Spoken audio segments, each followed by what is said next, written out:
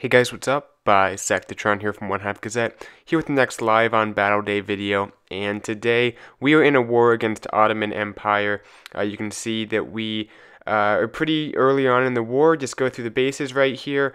Um, they did get, I think, one three-star up there, but for the most part, they're not doing a whole lot to our bases.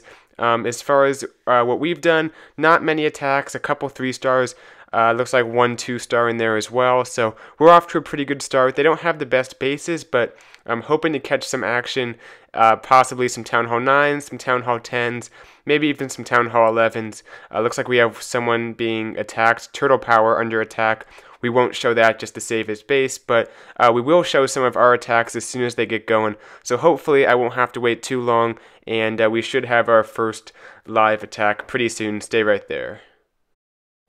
So it looks like we have our first attacker. This is Iceman going in um, against a pretty standard, I guess, internet internet internet type base you can call it. Uh, this is a pretty somewhat of a common design you see here, a little bit of a variation of it maybe, but for the most part, this is an easy base to 3-star, especially with Iceman's 30-30 heroes, so it would be kind of hard to mess this up in all honesty. Looks like he's doing a a pretty small kill squad, just that one golem and the heroes, plus the bowlers and the CC. As long as the bowlers go into the base, I think he should be fine. Right there, a giant bomb did just go off. That could be a little bit of an issue, and the bowlers seem to be walking. Uh, so things are moving in. Looks like the, the heroes at least will enter the base. Uh, the king and the golem are in there. Out come the CC troops. He has the poison for them. Uh, the queen's going to go down right there to the king, it looks like. Uh, his queen's going to come on in right here. The bowlers, for the most part, are down. But I guess the kill squad has gotten the job done in the sense that it took out uh, the important stuff like the Queen, the CC troops, got one of the giant bombs triggered. This guy's giant bombs are not inside his base. It looks like looks like, looks like they're on the outside by those compartments. Um, so his hogs might hit a few as they come in, but they're looking good. I mean, he has the heal spells, has three of those. Um, the the king is not doing much damage to them. A few go flying to spring traps, actually more than a few. Uh, there is, it looks like there is a few giant bombs in the core actually, uh, which the hogs might not even have to worry about because the golemites went in there and triggered most of them. Uh, the giants are tanking for those hogs a little bit, so nice kind of surgical hog deployment, reminiscent of kind of back when surgical hogs were much more powerful back when they were first invented with the giants and the two or three hogs for each defense. But anyway, looks like this base is going to go down. Not the cleanest attack, but got the job done, which is all that matters. So it looks like we'll just kind of uh, wrap things up right here as all the troops make their way around. Nice attack to Iceman, and these bases, they can be tricky, but for the most part, if you have a if you have high level heroes, it definitely helps, that's for sure. But if you have, you know, a solid plan there's a lot of room for error, to be honest, at Town Hall 9. We'll give Iceman a woo in the comments or in the chat. But there is a, a lot of room for error. So even if the bowlers walk, even if you hit a giant bomb like on the outside, and most of your bowlers uh, get pretty low on health, uh, there, there's still room for error. You can still take out the base. You can see how many hogs he has left up. So yeah, this should be pretty much it as soon as that uh, elixir storage goes down. A nice attack getting the 3 star. That's pretty much all we need are those 3 stars from him. And we'll back out. Make sure no one's going in. Doesn't look like anyone is. So I will end this clip and be right back with the next attack. Alright, we have uh, next attack. Top Town Hall 9 it looks like. So this should be a pretty good base actually. This is Last Spartan. Um, coming in here with a Queen Walk uh, Vaho attack, so a little bit of a of a you know different attack. They're not just your standard stoned hobo or anything like that. And it is a pretty good base, so this should should make for a good attack. There's definitely going to be some double giant bomb spots. Um, just a good solid layout from this guy. Uh, so right here, drops the rage to help his queen take out the enemy king. Not sure if the rage was needed, but I guess it was. I didn't see that second archer tower. With two archer towers plus the king, even if he poisoned the king, which might have been a good idea to do, probably still would have needed that rage anyway. So I guess uh, nothing nothing lost there. Uh, nice baby dragon to kind of help with the funneling.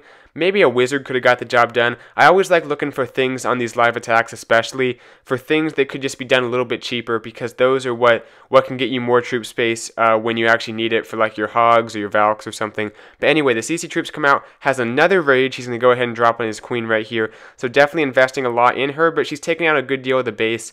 Uh, the CC troops didn't get fully lured. Here comes the, the rest of them, two more baby dragons.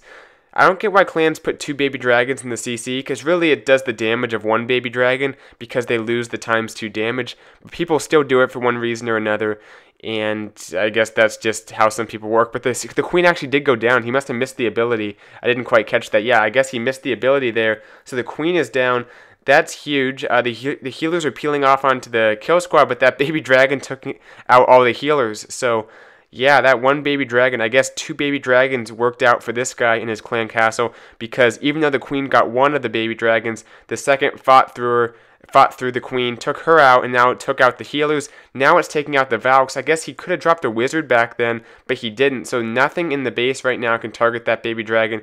This attack is going to be a fail, it looks like. If he had maybe dropped a wizard as soon as his queen went down, it might have been able to take out that baby dragon before it took out the healers, because with three or four healers still up, uh, those Valks would have got a lot deeper into the base, especially if there wasn't the baby dragon targeting them directly plus the healers would have helped out. So we'll give a nice try to Last Spartan because uh, it was a pretty good plan. Just the missed the queen's ability. That was the main thing, and maybe he could have used the rage the rage spells a little bit differently and maximized the value a little better. But nice try. We will go ahead and move on uh, to the next attack. I'll be right back with that. So here we go with the next attack, kind of missed the beginning part of that, but basically we're taking a look at Bisectatron going in here against one of their Town Hall 10 bases. This is actually pretty similar to the Town Hall 9 base we saw at the beginning, although it's a Town Hall 10 base, has pretty much max point defense. So even though the heroes are kind of low level and the base design isn't great, this is still going to be a hard attack. And I can't remember if Bisectatron has been on the channel yet. I just don't remember saying his name very much. Maybe he's a new member. Maybe I just missed him because I haven't been that active in the last few wars. But if this is your first time on the channel, uh, welcome to the channel, dude. Uh, should hopefully a three star to to start off your channel debut. Uh, here come the Valks, the bowlers. Looks like he's just coming in with a big heavy kill squad. He has some balloons. We'll see how he uses those. That should be interesting. Uh, heal spell down, another rage. Um, looks like he'll put that jump down right there. So everything's moving through. Not sure if that Inferno is going to go down. This might be kind of tight. The kill squad is still moving. Hard to tell how many Valks he has left up. Um, a few balloons going in. We'll see how this ends up uh, working out for him because the kill squad is down for the most part. I don't think the enemy queen even went down. You can see she actually is still up on that left side of the screen. So there's still that kind of stronghold with the queen left up. He only has a few balloons. The queen's pretty low on health. He'll have to pop the ability in just a moment. Doesn't look like this is going to be a three star. Um, good try. Hard to tell what happened with the Valks there. Maybe the they got too far out in front and the CC troops took them out or something. But really, his kill squad kind of petered out before they could take that second jump and really get deeper into the base. So uh, definitely a nice try. I guess we'll go ahead and watch the end of this as the queen takes out a few more buildings before she goes down and uh, just like he'll deploy a few more uh, cleanup troops. But yeah, about 63, 64%. Looks like it'll be nice try to bisect Bisectatron. And uh, that will wrap it up for this video, guys. This is going to be the last attack. Hope you guys enjoyed it. And I'll try to record a live attack for you guys so you can see some of my attacking. Uh, so maybe maybe one of my attacks tomorrow or something I will record. So be looking forward to that. I don't know when I'll upload that, but maybe at some point uh, next week when, when, when you guys want a live attack uh, I'll be able to have one pre-recorded for you guys. So look forward to that. But thanks for watching this video. Hope you liked the attacks. Only had three for you guys, but uh, it's always hard to find the time to, to sit around and record attacks, especially in a small war when not many people are attacking. So let me know what you think in the comments below. I'll be sure to check that out. And thank you guys so much for watching. I'll see you guys in my next video. Bisectatron out.